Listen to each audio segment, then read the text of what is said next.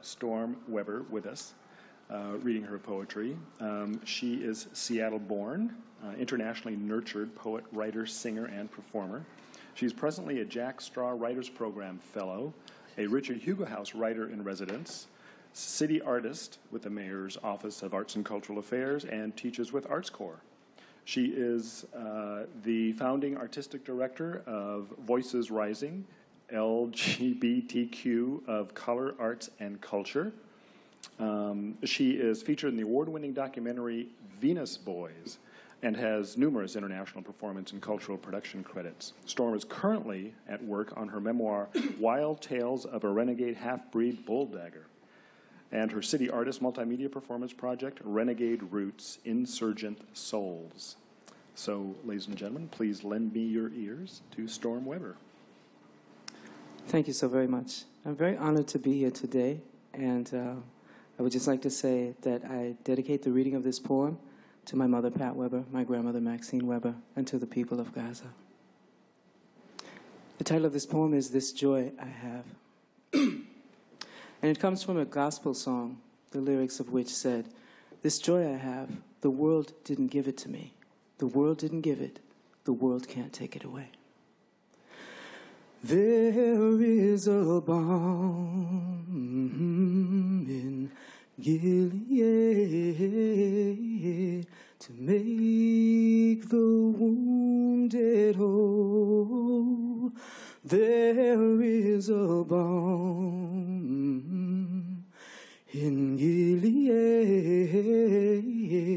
to heal the sin sick soul. I saw a rainbow sign in the sky, rising up from sorrow and the great unknown.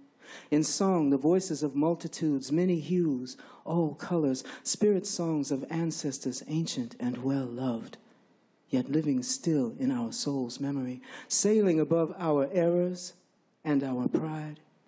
In the beauty streaking across the firmament over this broken world, softly singing a song that remakes us. We did not come this far to stop now.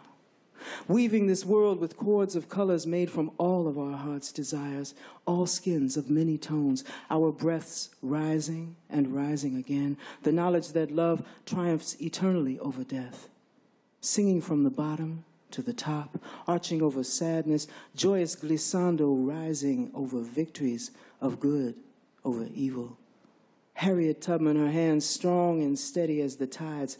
If you want to be free, keep going her chant never wavering. I saw a rainbow sign written in music, and it carries me and it carries you. All tones, all shades, full spectrum. This moment ripe with possibility. This fullness emptying, filling again.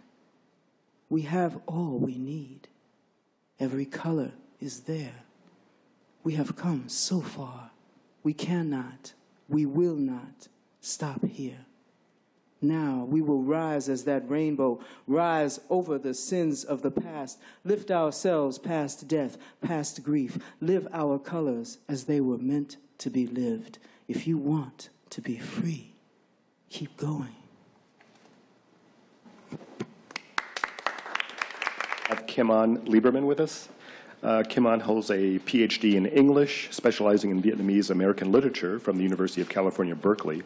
Her poems and essays have appeared in Poetry Northwest, Prairie Schooner, Quarterly West, Zyzzyva, Calyx, Threepenny Review, and the anthology AsianAmerica.net, Ethnicity, Nationalism, and Cyberspace. Currently, Kim-An is a faculty member at Seattle's Lakeside School. Uh, she has taught writing and liberal arts at every level from fifth grade through college. And her first book, Breaking the Map, from which she'll be reading today, was published by Blue Begonia Press just last year. Ladies and gentlemen, lend me your ears, please, to Kim-An. Thank you, and good afternoon, everybody. Happy New Year. If you observe the Chinese zodiac, it's the year of the ox, it's just begun. Um, or if you're Vietnamese, like my mother is, it's actually the year of the water buffalo. Either way, it's uh, uh, meant to meant to signify industry and hard work ahead in this year, which hopefully will bode well for our economy.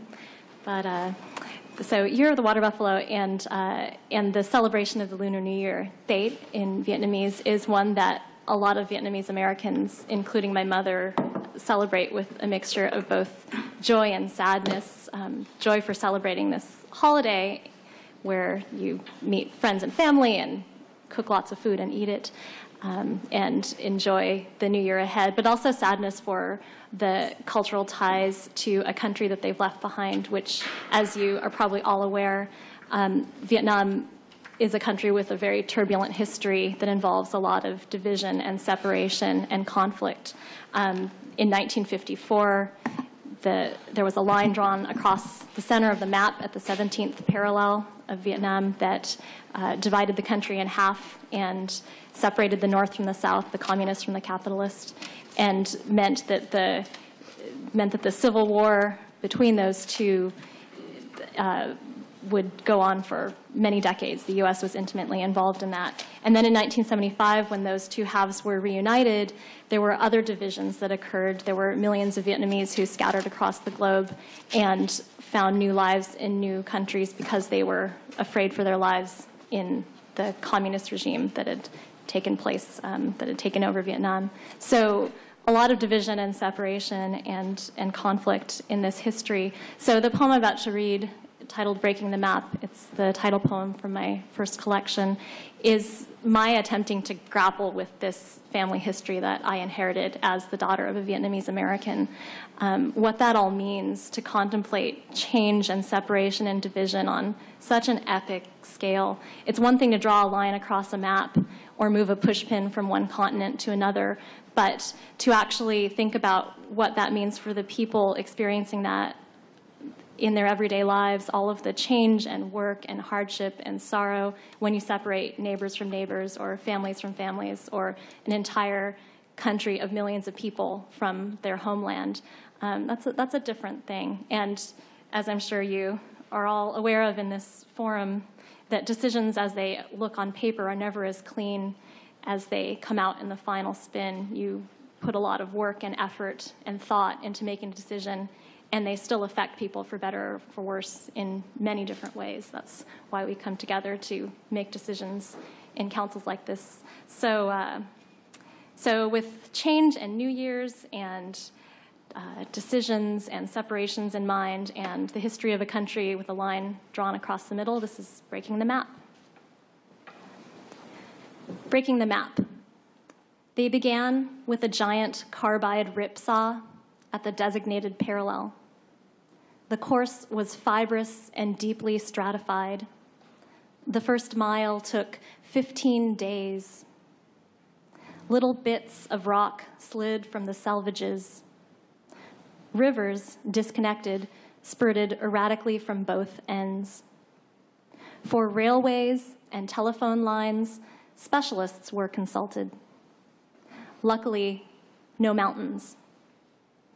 The project was broadcast live on national radio. Helicopters buzzed constantly overhead. Local hardware stores donated tools by the truckload. Workers hoisted crowbars, jackhammers, pickaxes, grappling hooks. Entire villages volunteered. Children distributed free lemonade. Grandparents stationed lawn chairs on either side. As the gap unzipped, Landowners on the divide had to think fast. Brothers tossed coins for the better half. Lovers hopped across together, discarding their old lives. Airlines held last minute lotteries. At the terminus, an official ceremony with golden hammers. A thunderclap tore through the completed chasm. Startled, those remaining on the edges waved a mechanical goodbye.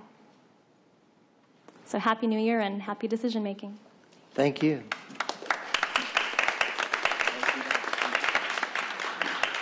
We are happy to have Laurie Blauner with us today. She is uh, the author of six books of poetry and two novels as well. She received an MFA from the University of Montana. Her poetry and fiction have appeared in various publications, including the New Republic, The Nation, the Georgia Review, the Seattle Review, the New Orleans Review, Poetry, and American Poetry Review. She has received an NEA grant as well as grants and awards from King County Arts Commission, Seattle Arts Commission, Artist Trust, and Centrum. And she lives in Seattle, and she'll be reading with us today. So, ladies and gentlemen, please lend me your ears for Laurie Blauner. Hello. I'm gonna, um, my poem is based on the fable about the emperor's new clothes, and it's got a little bit, it's a little bit of a love poem also, so that's appropriate. And it's called The Emperor's Wife. Belief is everything, yet I can't describe his new clothes, pornographic as the wind's touch, the pale abandoned ship of his body, empty, empty as the suggestion of smiles and vows. The whispering fills my head, light in the terrible room where we tried unsuccessfully to make children. I gathered the wreck of him in my arms. Now air rests its hand against his rough thigh. He is laughing, waving, the all of him. He is happy in his strange fidelity of blood, swerving around, avoiding his floating heart, his political games, the innocence of good food. Moths swarm in the faces of bystanders who know there is nothing between them except their acquiescence, the sound of their breath, their grins loosened like kites. I too take risks, not the sun pushing my garments aside with its warm, broken kisses, my hair uprooted by a breeze, but the way I stay, watching him caress the world in its pure nakedness, knowing I can't stop him from walking out that door. Thank you. Even though spring hasn't yet arrived, I'm going to jump ahead to early summer with this poem, since here in Seattle, spring and early summer and sometimes winter can all look the same. Excuse me, Donna, are you speaking right into the microphone? Is it microphone on? Okay, Is this better? good. Okay. Uh, the title of this poem is On the Morning of the Summer Solstice. On the morning of the summer solstice, water seeps from the closet, making a small pond at the foot of the bed. It's fed from a hole in the roof, invisible to the eye, scornful of the tar and sheets of plastic my husband has layered there against the rain. It comes in drips that change their cadence, so we can't be lulled back to sleep. Keeps us on edge as we anticipate the variations. Plop, plop, plip, plock. From the sound, I know how the water travels, sliding down a beam, insinuating itself in the wood along the way, separating at cracks in the plaster to nose dive in a bucket, or slink its way along a hanger to spread a Rorschach blot against the lining of my coat. Then it reaches our shoes, floods the hiking boots, the cross trainers, saturates the straps of my unused sandals, and in the corner surrounds a derelict umbrella. There's a smell of mildew, of rotting wood, a dampness at the windowsills. Soon, we will sample mushrooms that will jut through the moldings, count the salmon spawning in the open dresser doors, inflate a raft, and trace patterns in the bedspread with our oars while we wait for August. Thank you so much. Today's poet is Rachel Dilworth.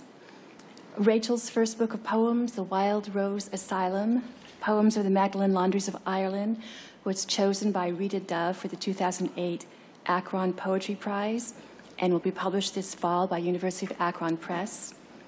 Her poems have also appeared in numerous journals, including Agni Online, Triquarterly, and American Literary Review, and are forthcoming in several others.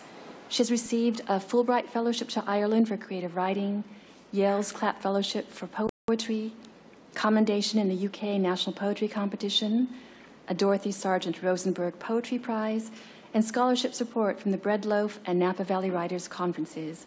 And she's a 2009 Jack Straw Writer. And I'm pleased to introduce Rachel. Thank you very much, Donna. And I want to say thank you very much to Councilman Licata and everyone on the council for having me here today. I'm very pleased uh, and honored to be here. And I also wanted to say how appreciative I am of this um, effort to carve out time and, and space on a, a regular basis to, um, to make poetry sort of part of the business of the community, which I think is just terrific. So thank you very much for that Well, as well. I agree with you, and I believe that uh, Councilmember Licata takes all credit or deserves all credit for that. It's one of the wonderful things that he has uh, brought to the city council. Am I correct in believing that you're a Seattle resident? Um, I'm living in Gig Harbor right now, Oh, Gig but Harbor. have been a Seattle resident in the past, yes.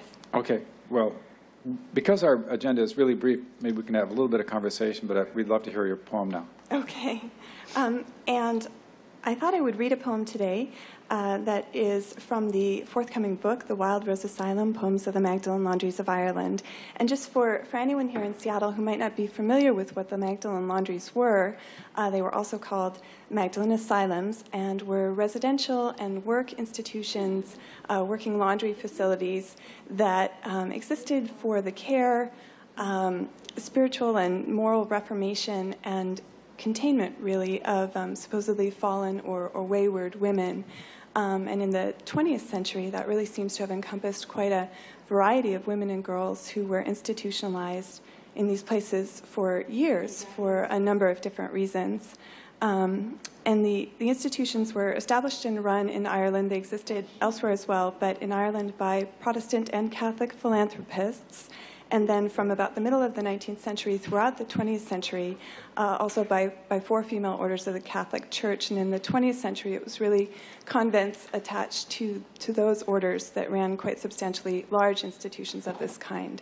So the poem I'm going to read today uh, does not explicitly address the institutions, but it is uh, part of a series that is woven throughout the book called the Body Sonnets and makes reference uh, in its imagery to a, a bird that, as far as I'm aware, we don't have a whole lot of here in Seattle, but our sister city in Ireland is full of them. Um, and hopefully everyone knows what our sister city is, but if you don't, it's Galway, which is a, a beautiful, um, wonderful, really vibrant town on the west coast, uh, very vibrant arts community. It's very green and rainy, so an awful lot like an, another city we all know and love here close to home. So this is a little reaching out across land and water today to one of Seattle's sister cities. Body Sonnets 1 Credibility. So much yourself that even the river is you. Length fathomed as a curve that stirs the light. Muscles wing swept and slow to be moved. Your very name, Swan, is absolute. No part of you is mystery to itself, not breast, nor skin, nor wind delighting eye. No impulse strange to you if seldom felt, nor missed, nor lost with opportunity.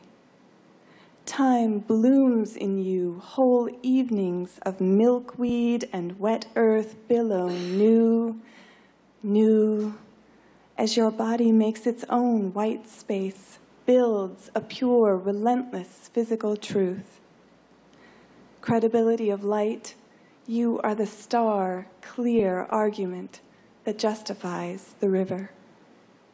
Thank you very much. Thank you. Thank you very much for joining us. Today I'm going to read a poem called Talent Night. Talent Night. After the rush for seats, when a gaggle of tripods, necks craned, line the aisles, and the red eyes of cameras blink their readiness in the dimmed auditorium, the spotlight circles the fifth grade MC, who tests the microphone with a knock knock joke. Satisfied, he signals the curtain to open on the first act. A tiny girl, someone's child, perches on a stool, squeaks a song off note, is gently cued by the audience when she forgets the words. Then the applause, its surge and roll, moves like a single celled organism, elemental and enduring, gathering momentum for the 39 acts to go. Thank you very much. Our poet today is, as all the poets so far this year have been, part of the Jack Straw Writers Program, a local arts program that showcase, showcases the work of area writers. Angela Martinez Dy is a poet and spoken word artist, educator and activist, organizer, and MC. At age 15, she was a member of Is- Isang Mahal Arts Collective, and since then has been instrumental in the development of many young Seattle poets. A founding member and director of Youth Speak Seattle, the Northwest's premier youth literary arts organization, and six time coach of the Seattle Youth Poetry Slam team, which regularly ranks among the nation's top 10, Angela has performed and taught creative writing at, at venues nationwide. She also performs under the name El Dia and is part of the Filipina hip hop duo First Quarter Storm. She was also a 2007 2008 Poet Populist nominee. And today, in honor of Earth Day, Angela will read a poem about Earth Day. Thank you, Donna, and thank you, Nick. This poem is entitled Human Causes. In the 1970s, they dropped the news like bombs over Baghdad.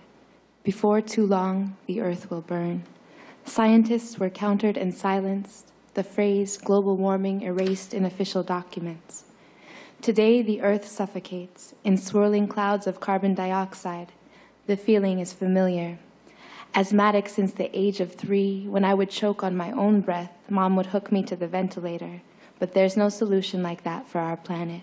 No giant ventilator in the sky to steal from its orbit, nor can we stop the Earth spinning long enough to place a mask over her gorgeous, cloud covered face. A quarter of all children in Harlem have asthma. This is Homeland Security's most significant breach yet. Hurricane season a comin'. Climatologists have made their findings, yet their hands are tied. The U.S. never ratified Kyoto, and now that the protocol's past outdated, the temperature is rising, and secondhand smoke will kill more than a million species in our ecosystem. We will be extinct. How much more serious must this get? And why are the deciders gone golfing? What is the difference between effect and effect? Answer the global poor those whom warming oceans and changing winds will affect most, and yet those who have had the least effect on the current ecological situation.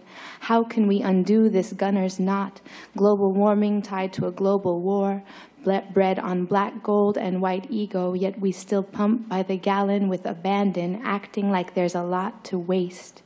Environmental consciousness must be raised. Stop playing naive. Recycle like your life depends on it recycle because your life depends on it. If we promote only the use of renewable energy, force the automobile industry to cap emissions and rethink its greed, the survival of the planet becomes a commercial priority. An uninhabitable world can buy and sell nothing. Some experts suggest more highway tolls, but let's hit the American people where it will hurt the most. Ask Fox News to disable the use of MySpace, cancel American Idol, and every NASCAR race until the CO2 emissions rate drops 75% or more. The levels are rising every day. The tides are rising too. Melting ice sheets are predicted to increase sea level a half meter in this century alone. Coral reefs will be forced to give up the ghost. We both thrive at the sea's surface but the new depths may drown them with our hopes. If there is a chance of salvation to be had in legislation, let it not be our last resort. Thank you. Thank you. And Peggy was a 2002 Jack Straw writer. She also writes a weekly column from the Ballard News Tribune at large in Ballard and a blog of the same name for Seattle, SeattlePI.com. She facilitates writing groups for Cancer Lifeline and is a contributor to Crosscut.com, writing on neighborhood issues. Thanks. This poem is in response to one by Naomi Shihab which was called So Much Happiness. But on the day that I sat down to write it, it was the day after there had been a, a bicycle accident uh, near my home that took the life of a man on his way to work at the University of Washington. And so my response was not about happiness. The weight. It is difficult to know what to do with so much sadness. It is a weight heavier than the oldest quilt. Amazing that the invisible has so much gravity. We try to move it off our chests. Place the sadness in a handmade urn on the fireplace mantel, in hands around a paper cup sheltering a cheap white candle, flowers propped between sidewalk and light pole, even though the bloodstains are in the street. Handwritten notes and bundled flowers allow us to shift the sadness a bit, juggle it from hand to hand, hot potato distracting us with pain. Oh, for a burn that could be cooled by ice. Sadness is not so easily deterred. We are choking on it. There is nothing to do but try to endure. Note a pulse of pleasure at the orange of sunrise despite yourself. Draw warmth from the person next to you. Appreciate that your own heart still pushes blood. It's hard to survive when someone else does not, but the heart's work shouldn't go to waste. One morning, the smell of coffee brewing will be pleasant. The shower will not just be the best place to cry. Most of us do recover from sadness. The grief doesn't float downstream with the ashes and rose petals. It doesn't stay nailed to the light pole, ink fading. Sadness walks us home, sits on our chest. It's not a matter of knowing what to do, but how to keep breathing while we wait. Thank you. Thank you very much. Molly Tenenbaum. Molly oh. is the author of Now from Bear Star Press, By a Thread from Van West and Company, and the chapbooks Blue Willow, Old Voile, and Story. Her old time banjo CD is titled Instead of a Pony. Molly enjoys bicycling between Seattle's Ravenna neighborhood, where she lives, and North Seattle Community College, where she teaches music and writing. Thanks.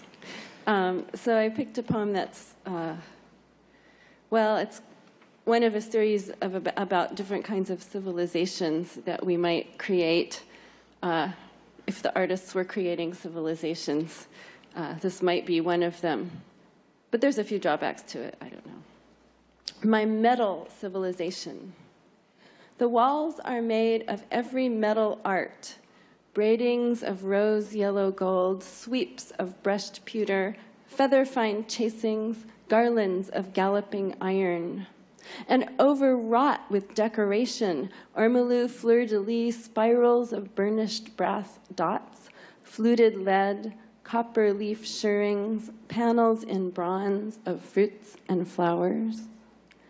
Inset with every color and shape, opal carbuncles, agate intaglio, lacings of kingfisher jade, columns of mutton fat jade, swirls dotted garnet, each stone smaller than a flea.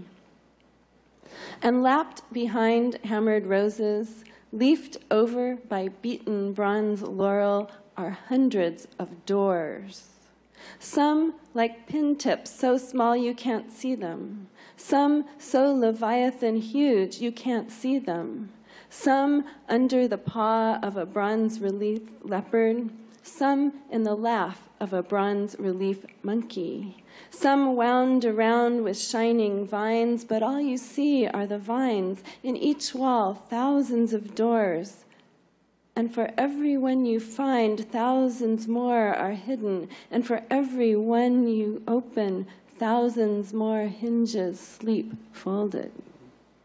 The walls glow in flickers, deep black in the creases, no doors to be seen, and maybe you haven't opened a one for all that you've opened, not one at all. Slumber now, here in the corner. Here is your pallet of straw. Here your warm patchwork cover. Your mother sewed it herself of what spilled from her hamper of rags. Thanks. Thank you. Pleased to have Allison Green with us, who is the author of um, the novel, novel Half Moon Scar and stories and poems published in a number of literary journals. Uh, three poems were recently published in Jumpstart, an anthology from Northwest Renaissance. Allison chairs the Arts and Humanities Division at Highline Community College, and we're happy to have her here. Everyone, please lend your ears to Allison Green. Thank you. This is a sonnet, and it's called Barista Love. The ones who came before her had their charms. A belle whose double earrings and tattoos were quite as lovely as Bernard's blue hair and scars. But I moved on. My first true loves were two Elaine, who did the hard work of the pull, and Sarah Beth, who made the pretty milk.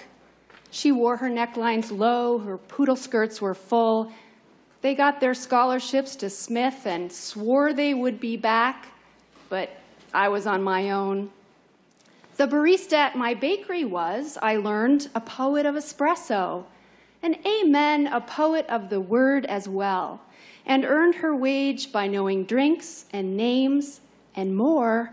Her crema brought the Mormons in the door. Thank you.